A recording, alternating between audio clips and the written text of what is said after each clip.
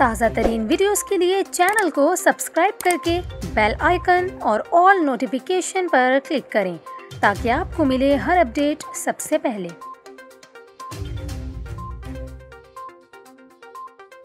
और यहाँ पर आपको ख़बर दें, सूबा पंजाब और खैबर पख्तूनख्वा समेत पाकिस्तान के बालाई इलाकों में जलजिले के शदीद झटके महसूस किए गए हैं। विफाकी दारकूमत इस्लामाबाद रावलपिंडी और पिशावर में जलजिले के झटके महसूस किए गए।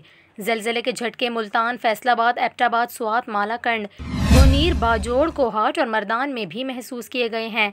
जलजिला आते ही मुख्तलिफ़ शहरों में आवाम कलमा तय्यबा का विरद करते हुए घरों और कारोबारी मराकज से खुले इलाकों में निकल आए। जलजिला पैमा मरकज़ के मुताबिक जलजिले की शिद्दत पाँच रिकॉर्ड की गई है, जिसकी जेर ज़मीन गहराई 218 किलोमीटर रिकॉर्ड की गई जलजिला पैमा मरकज़ का ये भी कहना है कि जलजिले का मरकज़ अफ़गानिस्तान और ताजिकिस्तान की सरहद थी। फ़िलहाल इस जलजिले से होने वाली किसी किस्म के नुकसान की कोई इतला नहीं मिली है।